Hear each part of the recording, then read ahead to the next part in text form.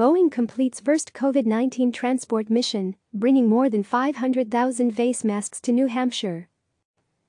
New York, New Hampshire received more than half a million face masks on Saturday, courtesy of Boeing and inventor Dean Kamen.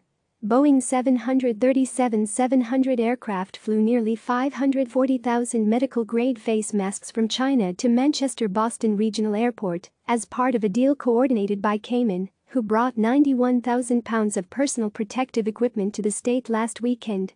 Kamen obtained the face masks from manufacturers in China through his company Deka Research and Development Corporation.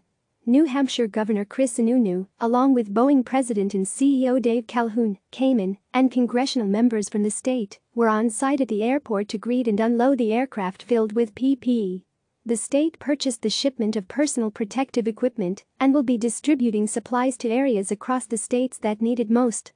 There will be no costs for recipients, and Boeing is covering the cost of transporting the equipment from China. The trip also marks Boeing's first COVID 19 response mission, using a company owned corporate 737 700, the company said. The supply distribution is a part of New Hampshire's ongoing efforts to respond to the coronavirus pandemic. Another life saving delivery of PPE has arrived in New Hampshire, said Sununu.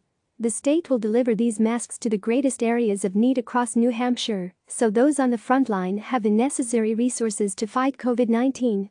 Boeing has plans to carry out more COVID 19 transport missions in the future, using its Boeing Dreamlifter and Eco Demonstrator aircraft. The company says it has been working closely with U.S. government officials on how to best assist areas with the greatest need. Click subscribe to receive the latest news.